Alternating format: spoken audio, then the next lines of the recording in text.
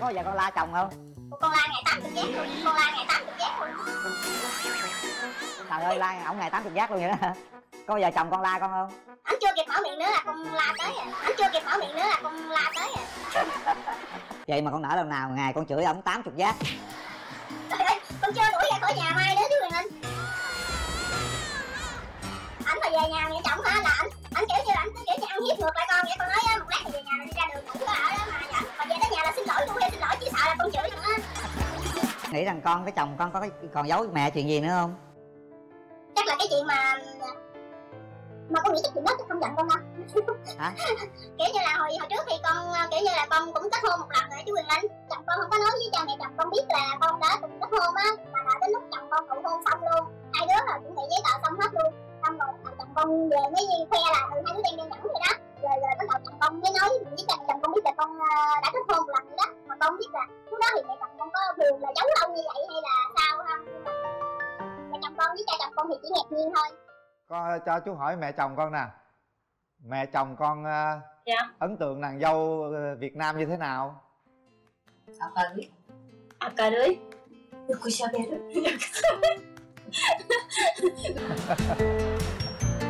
Katawa ada. Yori no jozo. à vậy à nấu ăn giỏi. Vậy là con thường nấu món ăn Việt Nam gì cho Dạ. mẹ con ăn nè? Ừ, con nấu à, à, đủ thứ trơn. Con nấu à, gì canh chua rồi thịt kho tàu cá cá kho khóm rồi mấy cái món việt nam con nấu hết. Tới lại con ở nhà của mẹ chồng con con nấu món việt nam không à. à vậy mà mẹ con ăn cũng được luôn. Ăn hết luôn ăn mà còn khen ngon. À, chồng con thấy rằng là khi mà con về đây làm dâu thì gia đình vui thế nào hạnh phúc thế nào? Gia đình có buồn gì nàng dâu việt nam không? Mà sao? Hạnh phúc quá anh ơi là không có một cưới anh nói là không có chuyện gì buồn hết. Anh nói là anh hạnh phúc với lại lúc nào cũng vui á. Ủa con ở mỹ tho rồi cách nào đó gọi là gặp à, chồng con rồi con đi qua nhật vậy? Hồi trước là con đi xuất khẩu lao động qua đây được một năm rưỡi xong rồi chồng con mới à, à, kết bạn facebook. Rồi tụi con quen nhau trên facebook ấy. Rồi hai vợ chồng quen nhau trên Facebook bao lâu thì hai người ờ, lấy nhau? Quen nhau là một năm rưỡi chứ Quyền Linh. Một năm rưỡi trên Facebook luôn. Mẹ chồng con với chồng con có về Việt Nam lần nào chưa? Dạ chưa à, cũng muốn về lắm nhưng mà do dịch tới chứ Quyền Linh nên là chưa có về được. Ừ. rồi hai vợ chồng có cháu chưa? Dạ chưa. À vậy thì hai mẹ con có thường xuyên tâm sự với nhau không? Do là cái tiếng nhật của con còn hạn chế á chứ Quyền Linh nên là tâm sự thì cũng một phần nào đó thôi chứ cũng không được nhiều như kiểu như người Nhật với người Nhật á. Con thấy là con hợp với mẹ chồng con điều gì và không hợp điều gì? Ừ, con thấy con hợp với mẹ chồng là ừ, lúc nào cũng cà rỡn cà rỡn lúc nào cũng giỡn nói chuyện ba xàm nhiều khi coi trên tivi thấy cái gì cái bắt đầu nói vô nhiều khi thấy cái gì mà kiểu như là nói xấu về chồng nữa. Nói xấu về chồng thì ví dụ mẹ chồng con nói cha cò chồng con ngủ hay ngái rồi này thì con bắt đầu cũng nói chồng con từ lưa vậy. Cho chú hỏi chồng con nè em trai yêu điều gì nhất ở vợ ờ, Việt Nam của mình?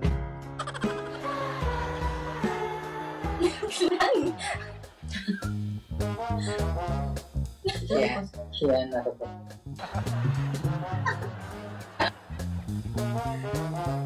này chắc anh xạo quá cái này chắc anh xạo quá hiền hả? Có giờ con la chồng không? Con la ngày 80 giác luôn con la ngày 80 giác luôn trời ơi la ổng ngày 80 giác luôn vậy đó có giờ chồng con la con không? Anh chưa kịp mở miệng nữa là con la tới à. Anh chưa kịp mở miệng nữa là con la tới à. Lúc mà mình à, chồng mình dẫn về ra mắt à, mẹ chồng đó thì con có lo có sợ điều gì không cơ? Dạ con sợ từ lưa hết trơn á.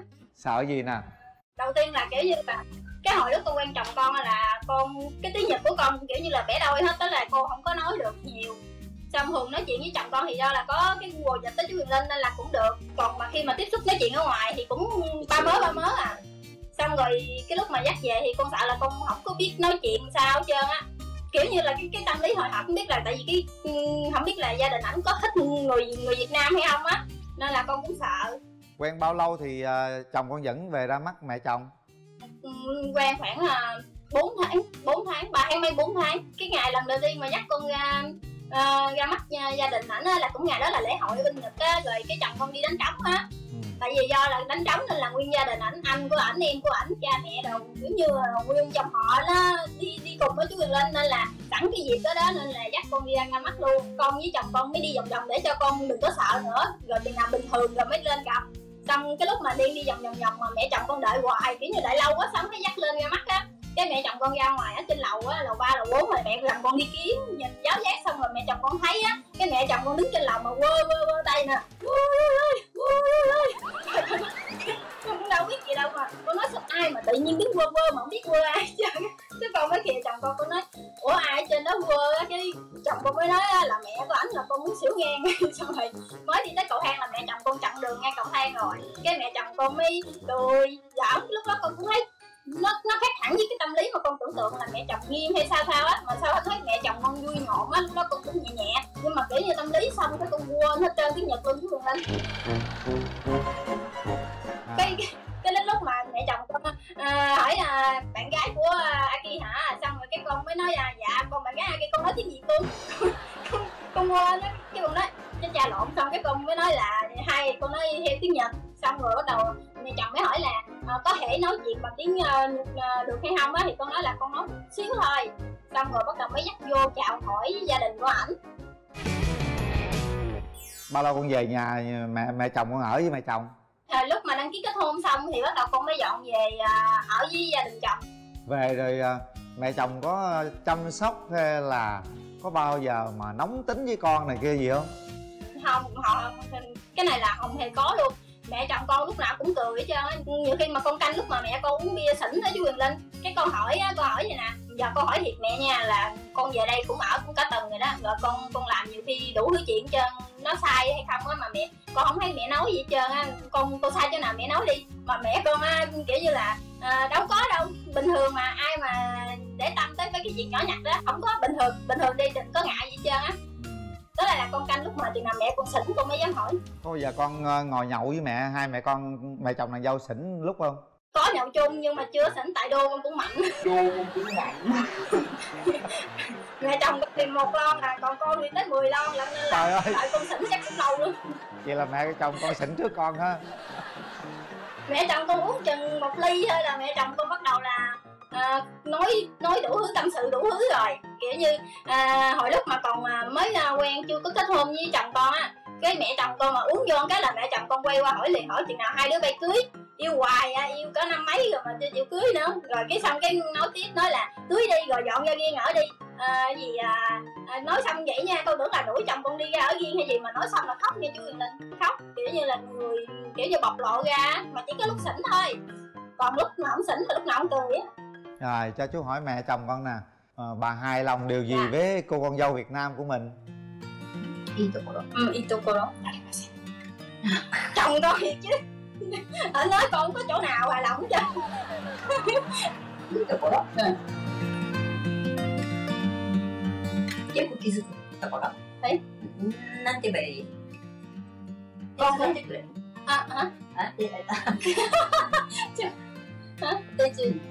れる à à đó con hiểu rồi. À, mẹ chồng con nói là con kiểu như là một người mà kiểu như tốt bụng với à, chú Quyền Linh. Là thấy như là chịu à, chăm chú uh, quan sát á, ví dụ như là hay giúp đỡ người ta con kiểu như là chắc mẹ chồng con thấy mà mẹ chồng con làm cái gì là con dành làm á.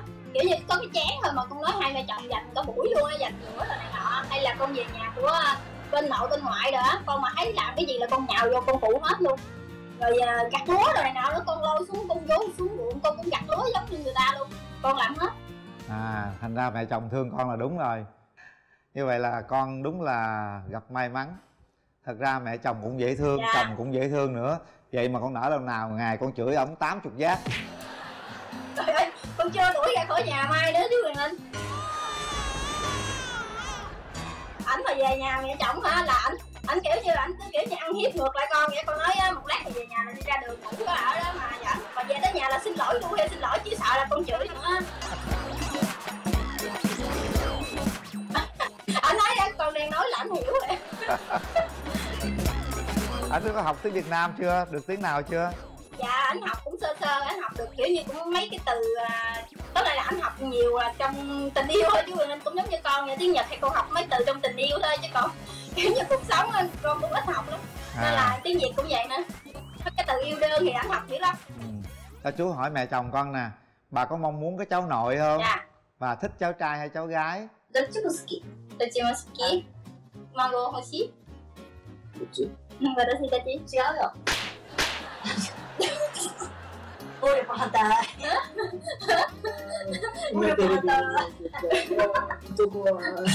ừ, Mẹ chồng con á thì à, à, trai hay gái gì cũng hết hết trơn á. Nhưng mà mẹ chồng kiểu như mẹ chồng con á là con hay hâm dọ mẹ chồng con á. Con nói á con mà đẻ ra rồi là con đem về đây cho mẹ chồng con giữ luôn. Cho con ở bên đó con ở không con đi làm chứ con không giữ không mà mẹ chồng con sợ á. Con hỏi là có muốn cháu không là mẹ chồng con sợ liền sợ là con đẻ ra xong là liền cho mẹ chồng con á. Kiểu như là à, khi mà ở riêng rồi á chú Huyền Linh làm cuộc sống là hai đứa là tự lập hết nên là hai đứa phải chịu trách nhiệm với cuộc sống nên là sinh con ra rồi á là phải tự lo. Nên là lúc mãi con hỏi nghiêm túc á là à, khi mà sinh cháu ra rồi á thì con muốn nhờ mẹ con phụ giữ á thì mẹ chồng con nói là cái việc mà giữ cháu là mẹ chồng không cứ giữ. Ví dụ như về chơi vài tiếng á thì được chứ còn mà giữ giữ ngày hai ngày là mẹ không giữ. Tại vì cái việc nuôi dạy con á là của con và chồng con. Nên là sau này nuôi dạy ra một cái đứa con như thế nào á là hai đứa con phải chịu trách nhiệm mình có một kế hoạch nào về sinh con cái không? Ừ, con dự định là sang năm xây nhà ổn định rồi thì mới cần mới sanh em bé. Ừ. vậy thì cái cái định hướng là sẽ xây nhà thì đất ở đâu? Ở nhà mẹ chồng cho hay là mình tự mua hay là như thế nào con?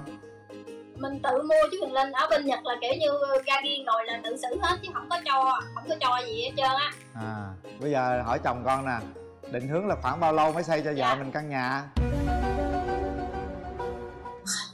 先じゃん二つの rồi đó わかるわねお金がないからね Nói gì nữa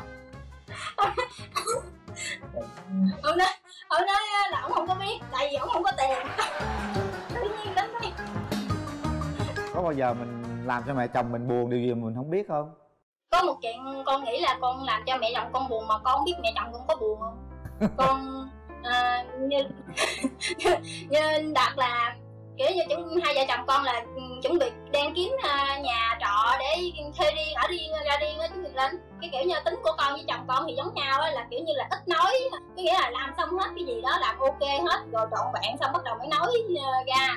Nên là cái lúc mà thời mà kiếm nhà ở riêng á, thì à, con với chồng con cũng chạy tới lui ờ, kiếm. Xong rồi mẹ chồng con cứ nghĩ là chưa có kiếm được á, nên là cha mẹ chồng con ngày nào cũng lên trên mạng sẽ kiếm ờ, nhà kiếm ờ, nhà để cho hai đứa con thuê á. Cái lúc mà hai vợ chồng con mình kiếm được nhà rồi cũng không có nói nữa. Bữa đó đó là còn ờ, 5 ngày nữa là dọn ra ở nhà mới rồi. Xong rồi cái mẹ chồng con bữa đó, đó cũng đưa điện thoại cho con hỏi là cái nhà này được hay không. Xong thì con cũng dạ dạ dạ vậy thôi. Xong rồi cái đến tối về á cái chồng con anh mới nói á là còn 5 ngày nữa là dọn ra ở riêng rồi. Cái mẹ chồng con hết hồn luôn mẹ chồng con kiểu như là trên, trên trời rớt xuống vậy đó. Cái mẹ chồng con còn quay qua nói con nữa. Vậy sao hồi nãy đưa cái điện thoại coi mà cũng không nói nè. Không nói tiếng nào chơi mà còn dạ dạ nữa. Cái con, con mới nói nè con tưởng đâu mẹ biết rồi nhưng mà còn không dân để kiếm cái nhà mới vậy đó. Xong rồi cái ừ, mẹ chồng con mới nói thằng Aki hồi đó tới giờ đó cái tính của nó là không có nói cái gì làm cái gì cũng không nói hết trơn hỏi tới mới nói còn không hỏi là không nói. Cái mẹ chồng có hỏi rồi tại sao con không nói? Thì con cứ nói là con tưởng là Aki nói vậy đó. Mẹ chồng con mới hỏi là chị kiếm được nhà rồi đúng không? Cái con mới nói dạ kiếm được rồi. Xong rồi bắt đầu mẹ chồng con mới đi vô trong phòng lấy cuốn sổ. Cái cuốn sổ ghi chú của mẹ con con đâu biết gì đâu. Cái mẹ chồng con mở ra. Cái mẹ chồng con mới hỏi là à, kiếm mua được tủ lạnh chưa? Cái con mới nói là tủ lạnh mua rồi mà còn để ngoài siêu thị chừng nào dọn nhà bắt đầu người ta mới chuyển tới. Cái mẹ chồng con hỏi rồi và còn cái gì chưa mua? Xong cái cái con nói là con mua hết tên rồi. Con nói con mua. Cái mẹ chồng hỏi rồi chán bát làm sao? Cái con nói con mua hồi mấy tháng trước rồi. Cái mẹ chồng con hết hồn mẹ con chồng con hỏi mày làm gì mà mua mấy tháng trước cái nói con là con xác định cưới Aki rồi nên là con sẽ cuốn đồ theo Aki nên là con sẽ mua sắm sẵn ra con đợi chừng nào đi cầu hôn là con dọn về đây con ở nên con sắm sẵn hết rồi xong rồi mẹ chồng con gạch gạch gạch gạch mấy cái mà ghi chú á xong rồi mẹ con con dẹp luôn lúc mà mẹ con dẹp cái cuốn sổ á thì mẹ chồng con cũng kiểu như là buồn buồn tới giờ luôn con cũng chưa hỏi giờ con thử hỏi mẹ chồng con lúc đó mẹ chồng con có buồn không 怒ってますね con tin hả だって自分たちのことだから à. mà con nghĩ là chắc cũng sẽ buồn tại vì kiểu như là mình đã bỏ một cái công ra để chú ý quan tâm như vậy mà cuối cùng trất vớt đó đúng rồi. Rồi ngoài cái chuyện đó thì con nghĩ rằng con với chồng con có cái còn giấu mẹ chuyện gì nữa không? Chắc là cái chuyện mà mà con nghĩ chắc chuyện đó chắc không giận con đâu. Hả? Kiểu như là hồi hồi trước thì con kiểu như là con cũng kết hôn một lần rồi chú Quyền Linh. Chồng con không có nói với cha mẹ chồng con biết là con đã từng kết hôn á đợi đến lúc chồng con cầu hôn xong luôn. Hai đứa là chuẩn bị giấy tờ xong hết luôn. Xong rồi chồng con về mới khoe là ừ hai đứa đang đeo nhẫn rồi đó. Rồi rồi bắt đầu chồng con mới nói với cha mẹ chồng con biết là con ờ, đã kết hôn một lần rồi đó. Mà con không biết là lúc đó thì mẹ chồng con có buồn là giấu lâu như vậy hay là sao không? Mẹ chồng con với cha chồng con thì chỉ ngạc nhiên thôi. Con có nói với chồng con biết không? Con nói từ hồi lúc ổng mới nhắn tin cho con nữa. Ổng mà nhắn tin qua cái là con con con con lúc đó hồi xưa là con kiểu như con con sợ cái gì mà tới mà sau này nữa rồi á ổng nhà nhắn tin con không biết là muốn làm quen hay là muốn hỏi chuyện gì á. Ai mà nhắn tin cho con là con nói là con có chồng rồi. Con nói liền trước ngay lúc mà đầu nói chuyện á ảnh hỏi là à, đã ly hôn chưa? Vậy đó xong thì con mới nói ừ thì đã ly hôn gì rồi? Xong bắt đầu là ảnh nói chuyện luôn ảnh nói là đã ly hôn rồi thì là bây giờ độc thân là ảnh không quan tâm tới là ảnh muốn làm quen vậy thôi ừ. nên là ngay từ lúc đầu con đã nói rồi. Tức là con ly hôn ở việt nam hay bên nhật? Hồi con qua Nhật một ờ, một năm mấy ha, là chồng cũ của con ờ, đơn phương ly hôn.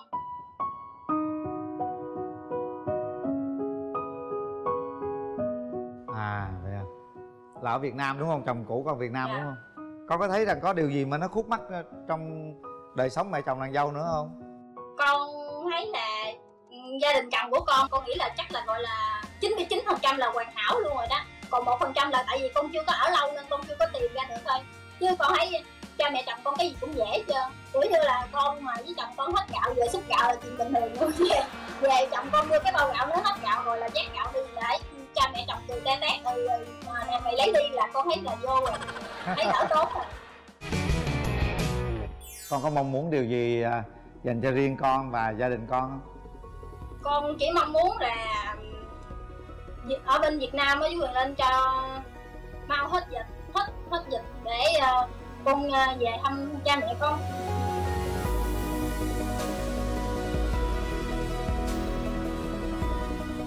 Với yeah, kiểu như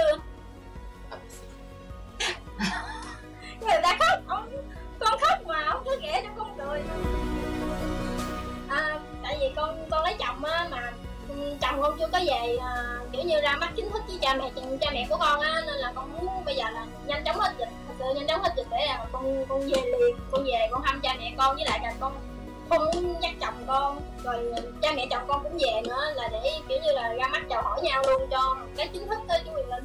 Ừ. bây giờ con à, nói gì với gia đình mình đi? Gia đình mình đang xem đó.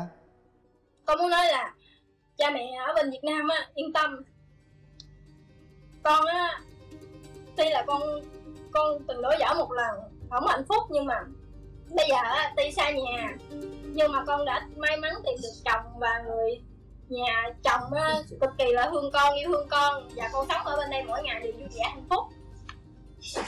Không ba năm trước thì hơn ba năm trước thì con có hứa là sau ba năm con về. Nhưng mà giờ do dịch bệnh nên con chưa có về được.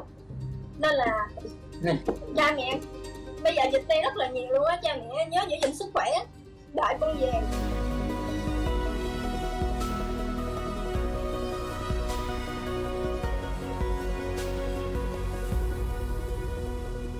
Ừ.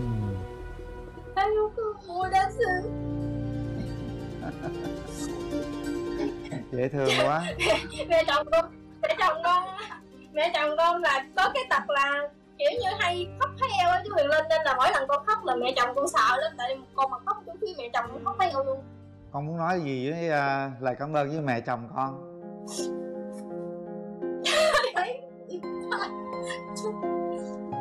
母さんお父さん今いないけどうん、うん私は本当にお母さんどうもありがとうございます何がお母さんは とても上手。お母さんは何が上手？お母さんは秋く生まれるからとても上手ね。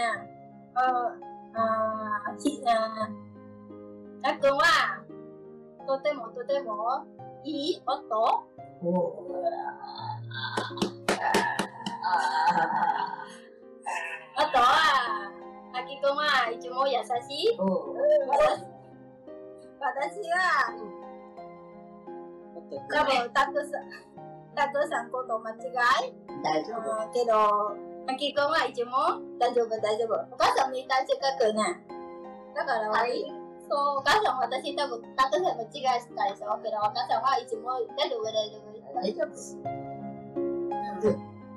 グ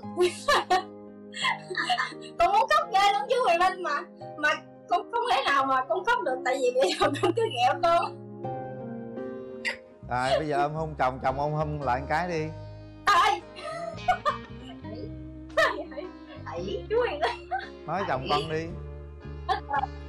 Hết đâu rồi ta xin nên chú sao xin đây chú chú xin đây Ờ, con xin-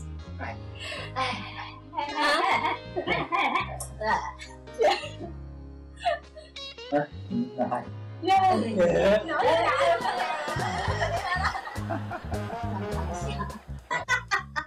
cảm ơn con. Nhìn cái sự à, ríu rít của gia đình những cái sự vui vẻ của các thành viên gia đình chú cũng rất hạnh phúc lây với gia đình của con. Và mong rằng những hình ảnh vừa rồi thì chắc Dạ. chắn gia đình của con ở mỹ tho tiền giang ở việt nam cùng quê với chú đó sẽ rất là hạnh phúc luôn. Chúc cho con và gia đình sẽ mãi mãi hạnh phúc như vậy. Bình an và mong một ngày sớm nhất hai bên gia đình sẽ gặp mặt nhau nhé Dạ con cảm ơn chú Quyền Linh nhiều. Con thật sự là con con rất rất rất cảm ơn chương trình mẹ chồng nàng dâu. Tại vì nếu như mà không có chương trình thì con cũng không có thể nào mà chia sẻ ra được uh, là uh, gia đình chồng đối xử tốt với con như thế nào và mẹ chồng của con rất là tốt với con. Và con kiểu như con cũng muốn chia sẻ với mọi người á, là có rất là nhiều bạn á, cũng như là cái duyên nợ như chú Huyền Linh cái duyên nợ á, là lấy chồng Nhật tới người người Huyền quen với Nhật á, là duyên nợ thì thành vợ chồng á nhưng mà cái kiểu như là gia đình ở bên Việt Nam kiểu như là nếu như con mà lấy chồng xa thì cha mẹ không yên tâm với chú Việt Linh mọi người cứ yên tâm đi thì mỗi nhà mỗi ở đâu cũng vậy có người này người kia mỗi nhà mỗi sảnh. Nhưng nếu mà mình cũng như là lấy chồng thì cũng như đánh bạc thôi hên xui. Nhưng mà con chỉ chắc là người Nhật người ta rất là yêu thương mình nếu như mình mình yêu thương người ta người ta sẽ yêu thương mình lại gấp hai ba lần hoặc là 10 lần luôn. Ừ, tuyệt vời một lần nữa thì cảm ơn gia đình cho chú gửi Dạ. lời thăm mẹ chồng con chồng con. Và chúc ờ, cả nhà chúng ta mạnh khỏe hạnh phúc và bình an nhé. Cảm ơn. À, xin chào tạm dạ biệt. con cảm ơn chú